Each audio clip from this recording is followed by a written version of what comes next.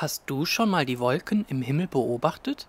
Wenn du lange genug hinschaust, erkennst du plötzlich Figuren in ihnen. Vielleicht ein Schaf oder ein Drachen oder sogar ein Gesicht?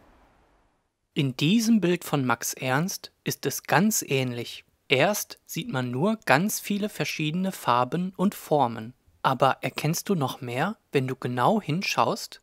Einen Mund, eine Nase und Augen? Hat sich da eine Figur versteckt? Ihre Kleidung besteht aus ganz vielen Linien und Formen. Hier könnte doch ein Hut oder eine Perücke mit Federn geschmückt sein. Siehst du die Knicke, Falten und Blätter? Und schau mal da ganz unten. Genau, da sind Hände. Sie halten ein Glas. Kannst du es sehen? Als Max Ernst sein Bild, der Cocktailtrinker, vor 75 Jahren malte, lebte er in New York. Dort ging er auf viele Partys. Hier wurden sicherlich einige Cocktails getrunken. Vielleicht wurden dort auch Masken oder ausgefallene Hüte getragen, die Max Ernst zu seinem Bild inspiriert haben? Aber neben dem Cocktailtrinker ist noch etwas im Bild zu sehen. Ein kleiner Geist. Nur wo steckt er? Ganz schön surreal. Hast du dieses Wort schon einmal gehört?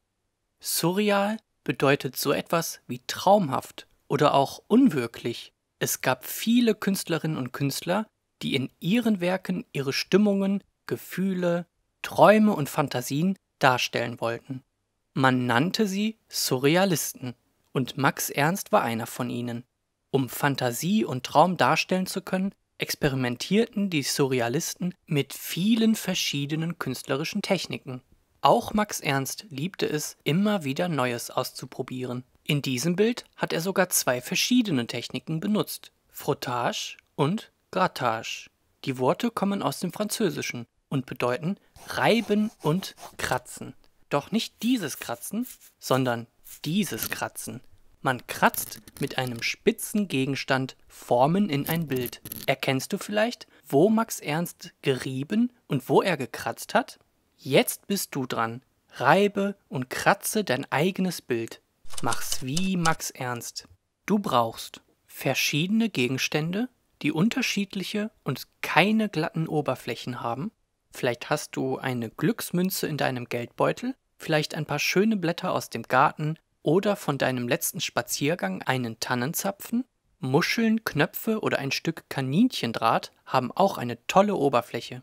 Einen Spachtel, eine Gabel oder ein Nagel gehen auch einen Zeichenblock oder buntes Papier und Wachsmalstifte oder Pastellkreide. Suche dir den ersten Gegenstand aus deiner Sammlung aus und lege ihn auf deine Arbeitsfläche.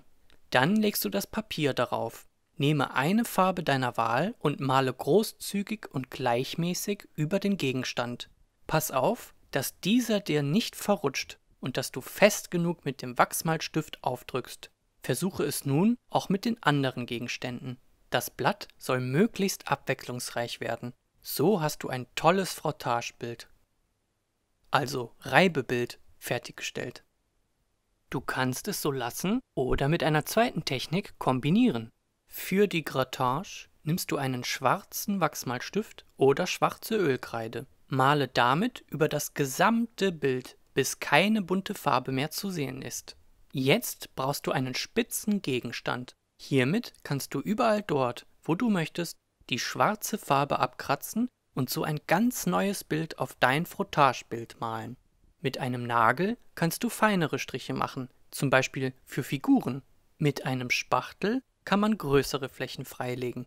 Mit der Gabel kannst du einfach mehrere Striche nebeneinander freikratzen. So entsteht ein toller Mix aus verschiedenen Farben, Formen und Strukturen.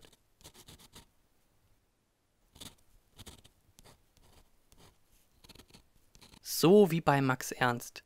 Viel Spaß dabei.